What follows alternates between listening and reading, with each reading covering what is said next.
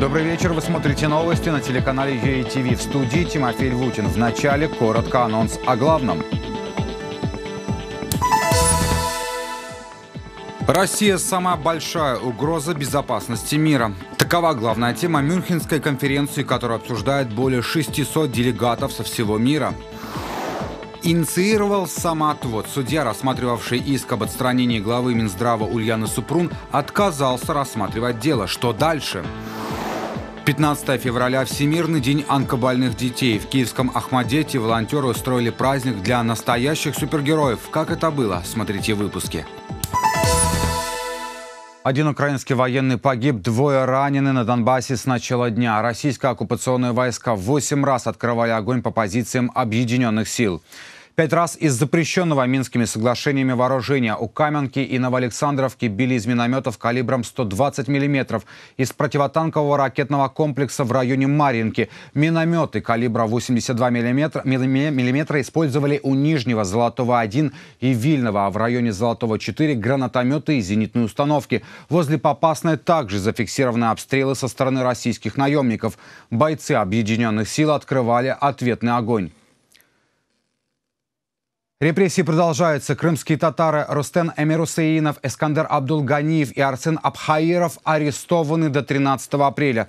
Решение вынес подконтрольный Кремлю Киевский районный суд Симферополя. Всех троих обвинили в связях с организацией Хизбут Тахрир. Она в России считается террористической. Все три заседания прошли в закрытом режиме. Судьи отклонили все ходатайства адвокатов.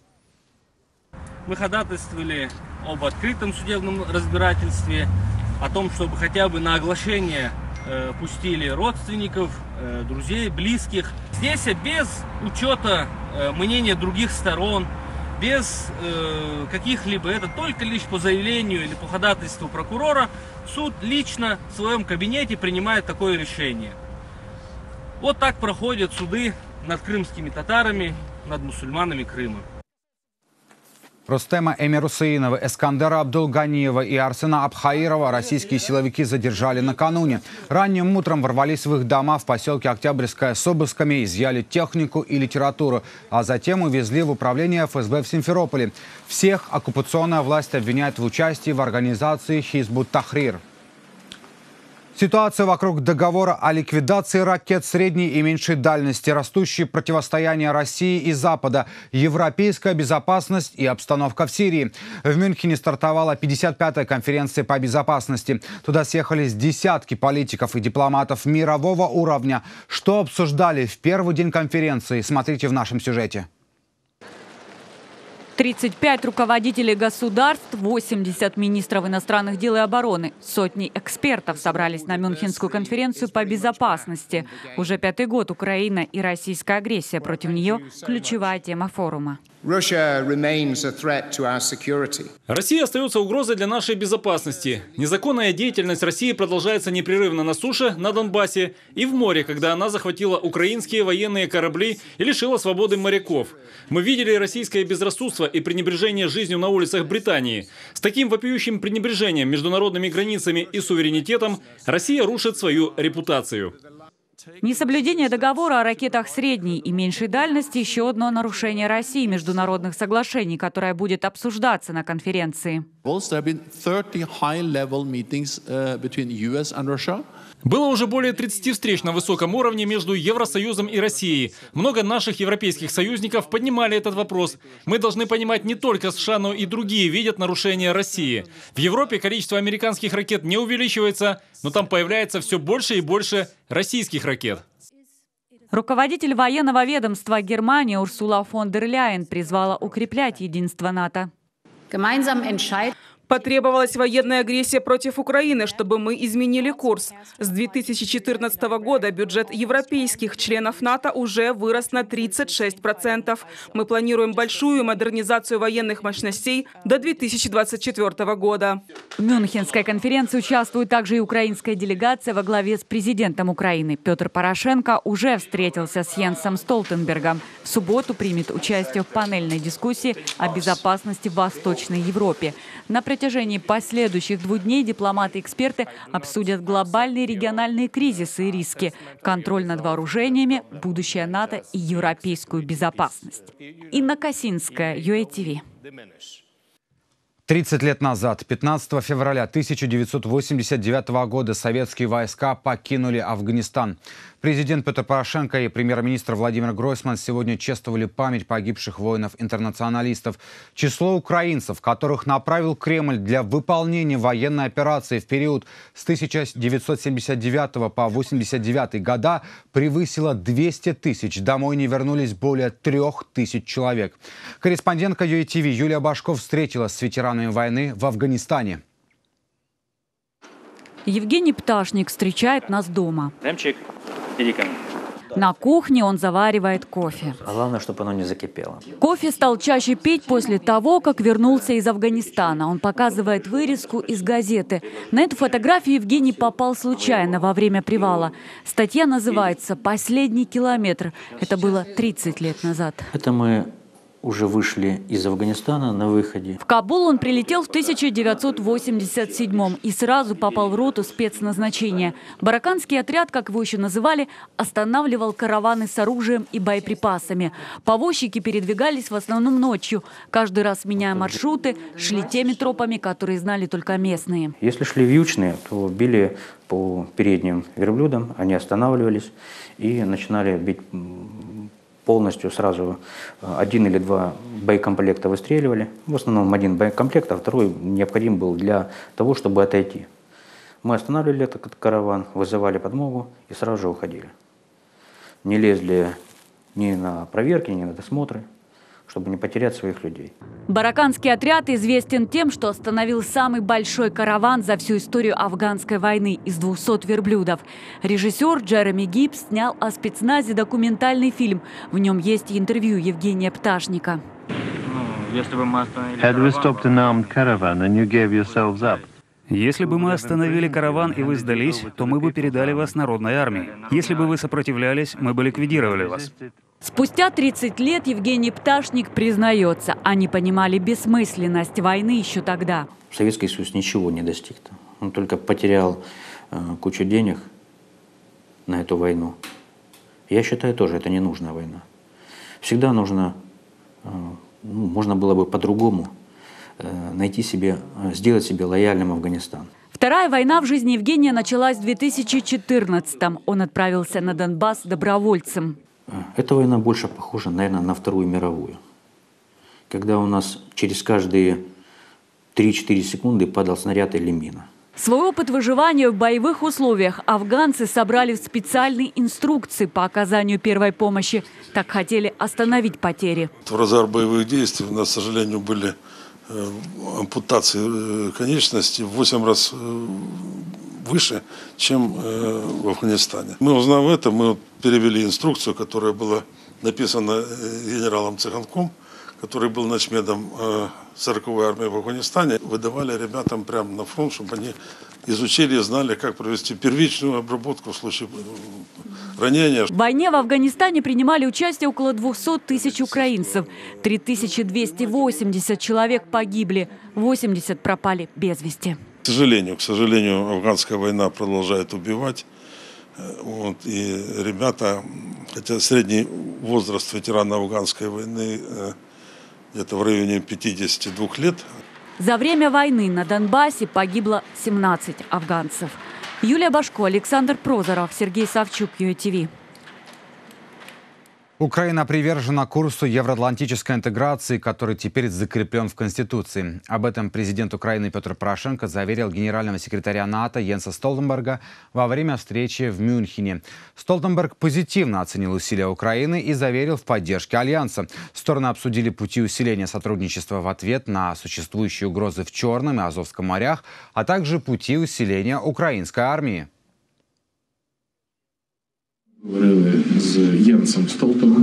Мы обсудили с Йенсом Столтенбергом те направления, которые будет иметь Украина в сотрудничестве с НАТО на ближайшие годы. Речь идет об амбициях и плане действий касательно членства ежегодные национальные программы, развитие сотрудничества для повышения безопасности на всех направлениях, начиная от кибербезопасности и заканчивая увеличением мощности оборонной сферы Украины.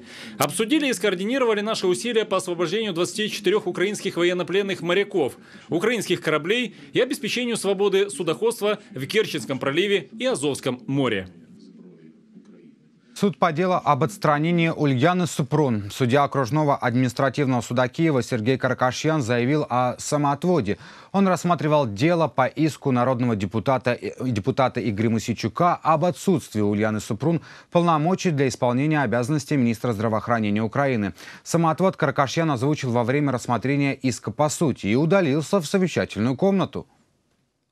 Перед началом рассмотрения иска по сути под судом уже традиционно собираются люди. Они пришли поддержать исполняющую обязанности министра здравоохранения.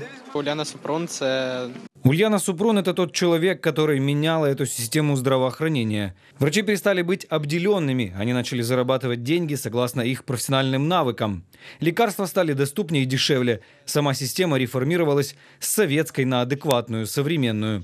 Я вообще не вижу минусов ее реформы и как сознательный гражданин вышел ее поддержать. Когда пришла Ульяна, на самом деле, это был первый человек, который за все годы независимости сделал решительные шаги, показал действительно, что она настроена реформировать, что она будет реформировать. И наша медицина через ну, определенный промежуток времени, это будет медицина э, там, самых высоких европейских стандартов. К собравшимся подходит и сама Ульяна. Говорит, благодаря тому, что разблокировали ее полномочия, уже успела подписать 20 важных приказов. В регионы отправились почти 400 тысяч доз вакцин против кори и краснухи. Также лекарства для больных туберкулезом и ВИЧ. На заседании суда идти не собирается. Говорит, в министерстве много работы.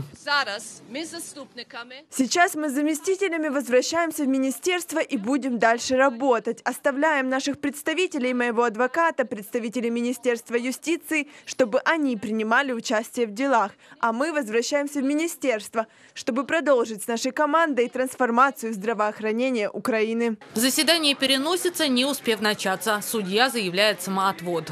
Суддя назвав таких дві обставини. Судья назвал два обстоятельства, которые заставили его взять самоотвод. Первое – это то, что на судью была подана жалоба в Высший совет правосудия. Судья расценил это как давление на суд. Второе, когда он принимал решение об отмене мероприятия обеспечения иска, он был вынужден дать оценку доказательствам, которые касаются рассмотрения дела по сути. Таким образом, для судьи появились другие обстоятельства, вызывающие сомнения в его объективности. В суде сообщили, что теперь дело передадут на автоматическое перераспределение. Накануне правительство частично разблокировало работу Министерства здравоохранения. Разрешило Ульяне Супрун распределять вакцины и лекарства по регионам, отправить на лечение за рубеж украинцев и продолжить закупку оборудования. 5 февраля окружной админсуд Киева временно запретил Ульяне Супрун выполнять полномочия министра здравоохранения. Иск подал народный депутат Игорь Масичук. Причина – наличие у чиновницы американского гражданства. Любовь Задорожная, Вячеслав Смирнов, Сергей Илинский, ЮЭТВ. Четвертый год врач-кардиолог, американка украинского происхождения Ульяна Супрун реформирует систему здравоохранения в Украине. Вместе с мужем она приехала в Киев в конце 2013 во время Евромайдана. С началом войны на Донбассе организовала обучение бойцов тактической медицине и обеспечение армии аптечками натовского стандарта. А в 2016 году начала менять систему здравоохранения в качестве исполняющей обязанности министра. Что уже реализовала Ульяна Супрун и как борется с мифами среди украинцев. Далее в сюжете.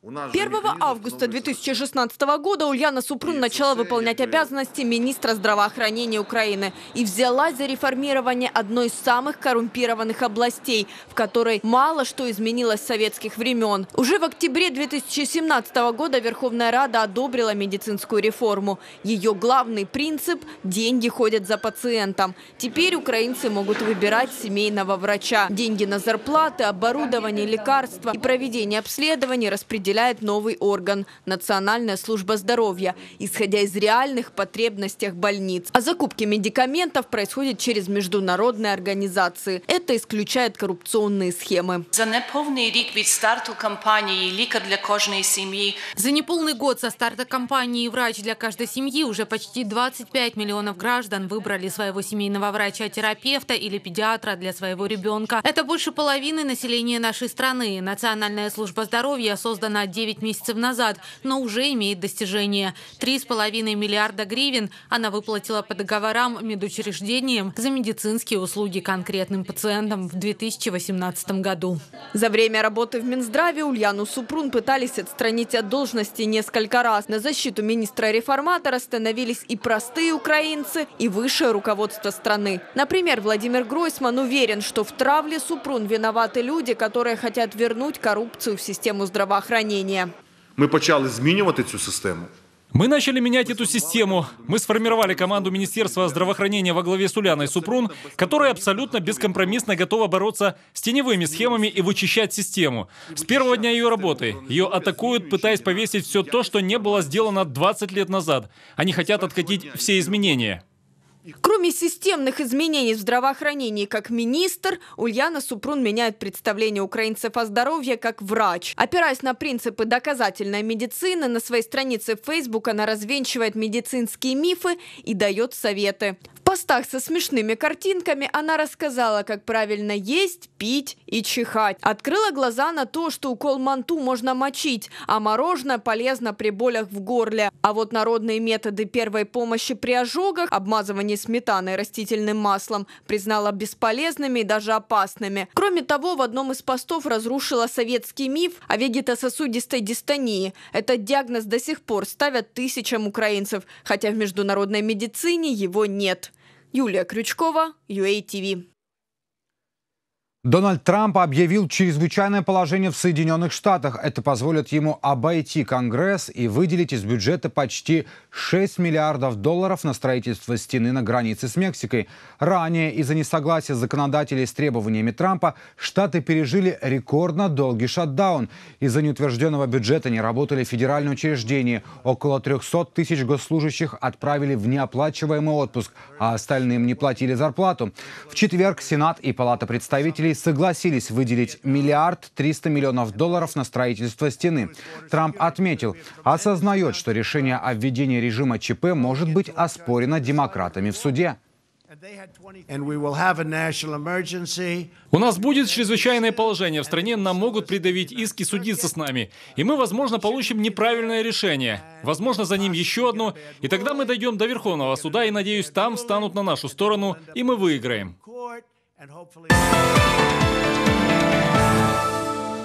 Всемирный день онкобольных детей. По данным Всемирной организации здоровья, каждый год более чем 300 тысяч детей до 19 лет диагностируют рак. Лечение может затянуться на месяц, и при этом маленькие пациенты зачастую находятся в палатах без привычного общения со сверстниками.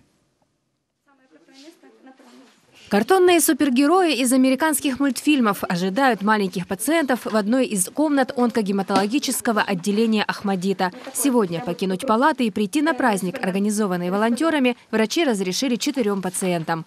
А сегодня у нас день супергероя, потому что наши подопечные — это настоящие герои, это маленькие борцы за жизнь.